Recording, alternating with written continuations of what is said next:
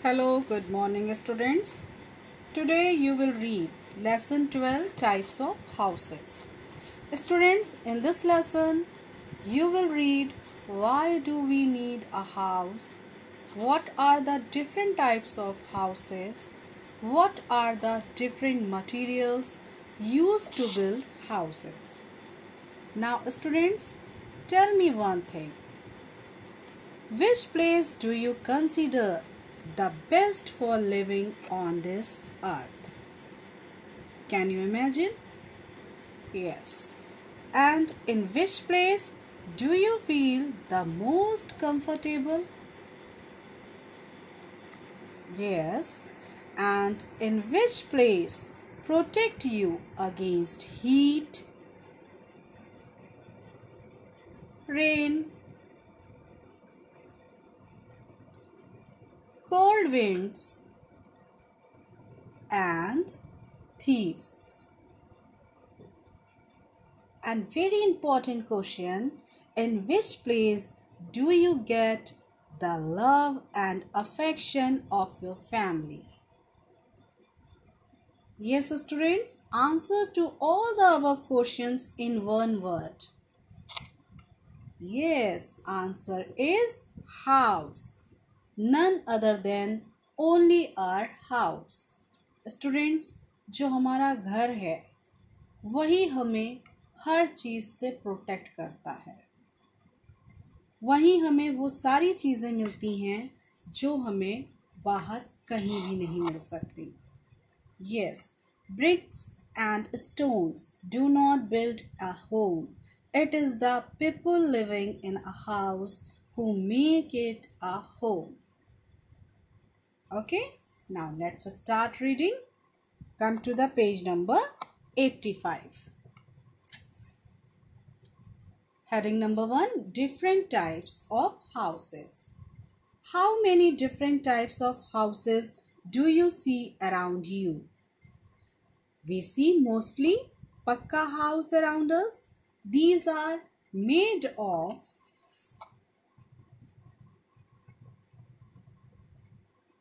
bricks, cement, iron, steel, wood, and stone. People living in cities, towns, and many villages live in pakka houses. Pakka houses are very strong and last many years. These houses may be single story houses or multi story building. Now you can see here. Yes, single story houses and multi story building. Nowadays, we see more of multi-story buildings. Some multi-story buildings are more than 30 stories high. Each story has a number of houses called flats or apartment. Some people own large house with lawns around them.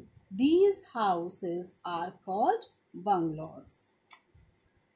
अभी हम कहीं पे भी जाते हैं तो आपको road पे खूब बड़ी बड़ी इमारतें दिखाई देती होंगी खूब बड़ी बड़ी बिल्डिंग्स दिखाई देती हैं यस मल्टी स्टोरीड बिल्डिंग इन्हें कहते हैं और इन बिल्डिंग्स में, हर स्टोरी में कई सारे हाउसेस होते हैं, जिन्हें हम फ्लैट्स या अपार्टमेंट्स बोलेंगे ओके? और जिन हाउसेस में अपना खुद का गार्डन होता है लॉन होता है।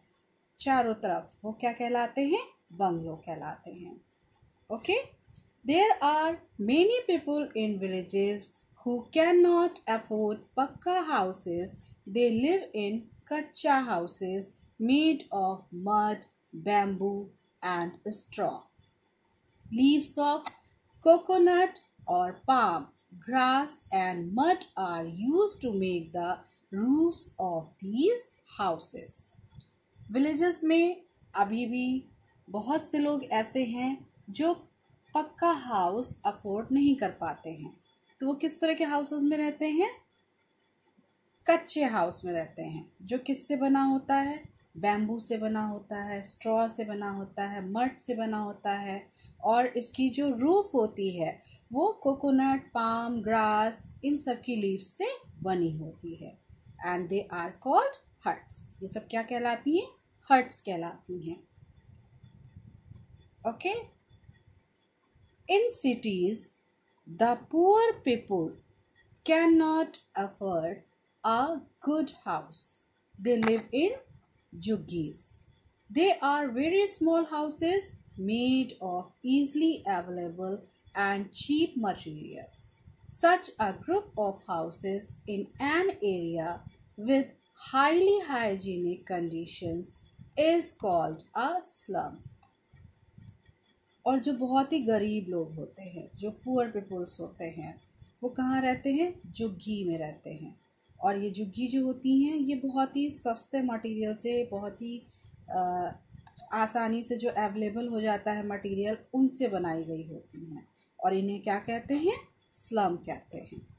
Now some unusual houses in hilly areas like Shimla Manali where there is heavy rainfall and snowfall the houses are made of wood and stones जहाँ पे बहुत ज़्यादा भारी बारिश होती है, हमेशा बारिश हुआ करती है हैवी रेनफॉल होता है।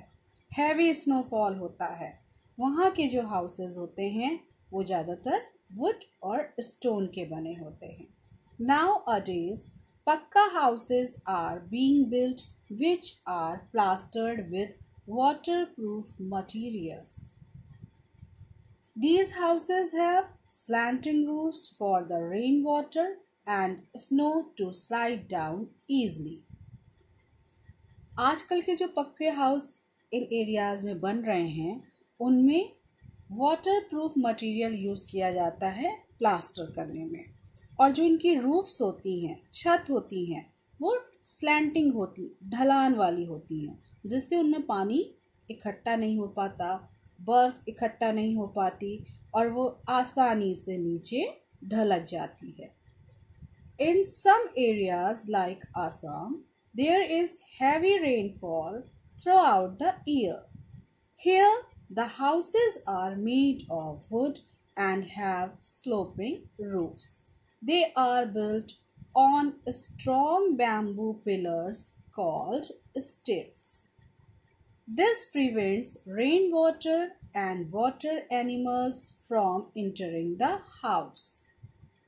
हमारे इंडिया में जो आसाम है वहाँ पे बहुत ज़्यादा बारिश होती है पूरे साल बहुत हैवी रेनफॉल होता है। तो वहाँ पे जो हाउस होते हैं, वो कैसे बनते हैं? वो बैम्बू के पिलर्स पे बनाए जाते हैं, जिन्हें क्या कहते हैं? स्टिल्ट हाउस कहते हैं। ओके और ये जो पानी में हमारे एनिमल्स होते हैं लाइक स्नेक हैं, और भी कई सारे एनिमल्स होते हैं जो, वो सब हमारे घर के अंदर आ जाएँगे। अगर हम सीधे जो है ज़मीन से हमारा घर जुड़ा होगा, है ना?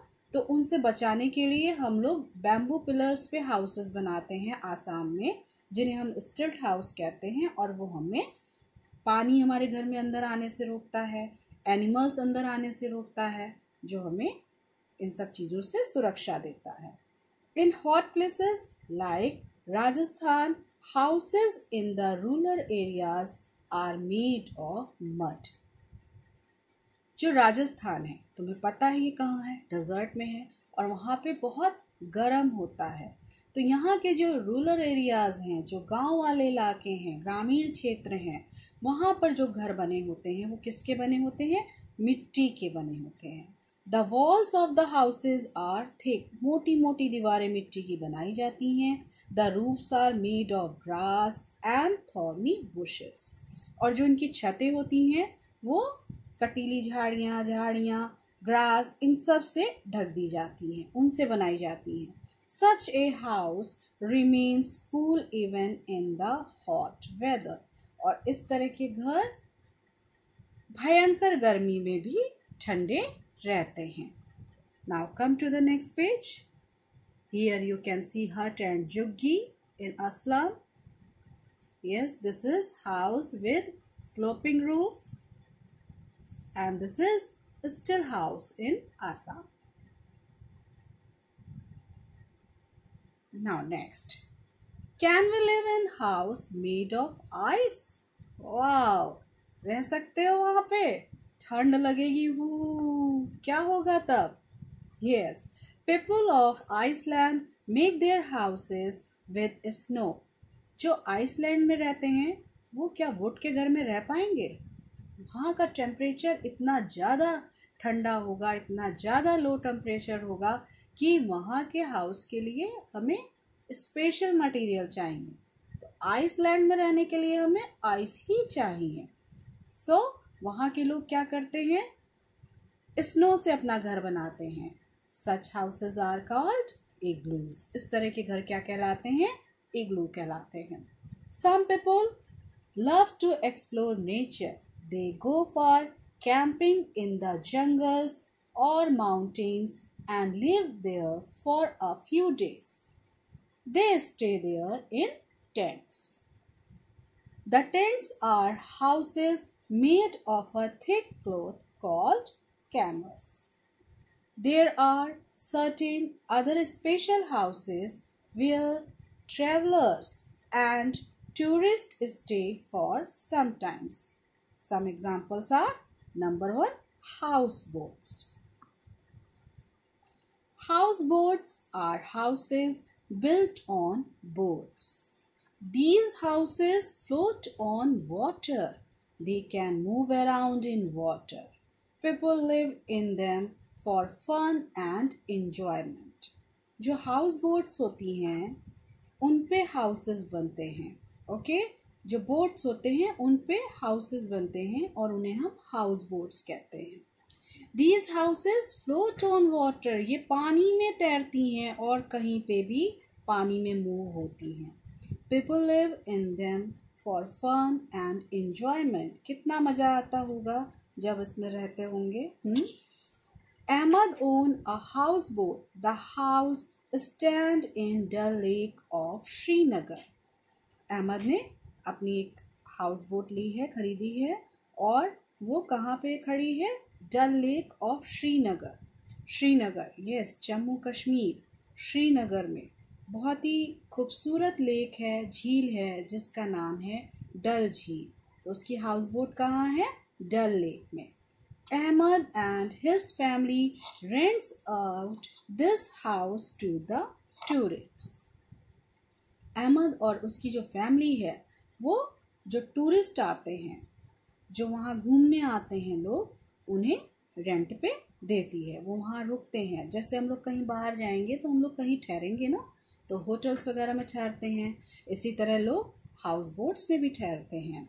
They have decorated the house beautifully the rooms are fitted with carpets The wood carving on the furniture is very beautiful. The walls of the room and are decorated with sceneries. पूरा घर बहुत ही खूबसूरती के साथ उन्होंने सजा रखा था कैसा था उनकी जो कारपेट बिछा रखे थे उन्होंने और जो वुड थे, वहाँ का जो फर्नीचर था, वो बहुत ही ब्यूटीफुल था उन्होंने सीनरी से अपने रूम्स की वॉल्स को डेकोरेट कर रखा था and same Srinivas lives in Kerala. His family also own a houseboat. His family earns money by giving their houseboat on rent. Every year, a number of tourists come to Kerala. They stay in the houseboats for a few days and enjoy the beauty of the sea. Now come to the next page students. Here you can see the picture of igloo and this is a tent house. Now you can see houseboat. Yes, drawing room of the houseboat you can see here. And this is bedroom. Okay, now come to the next. Next heading is caravan. There are some people who love to travel. They keep on moving from one place to another. They build their house on wheels. Such a house is called caravan. बहुत से लोग एक place पे नहीं ठहर पाते। वो move किया करते हैं एक जगह से दूसरी जगहों पे। तो ऐसे लोग अपना घर कहाँ बनाते हैं? व्हील्स पे बना लेते हैं। पहले बंजारे हुआ करते थे, जो अपना घर व्हील्स पे रखते थे, क्योंकि वो एक जगह कहीं नहीं ठहरते थे। वो प्लेस टू प्लेस मूव करते थे, घूमा करते थे। Okay so earlier a caravan was pulled by a horse nowadays they can be driven just like a car a bus पहले जो कारवा होते थे, वो घोड़े बुल्स बुल्स भी होते थे हॉर्स भी होते थे। इनसे जो है, उनकी कार्ट को जोड़ दिया जाता था।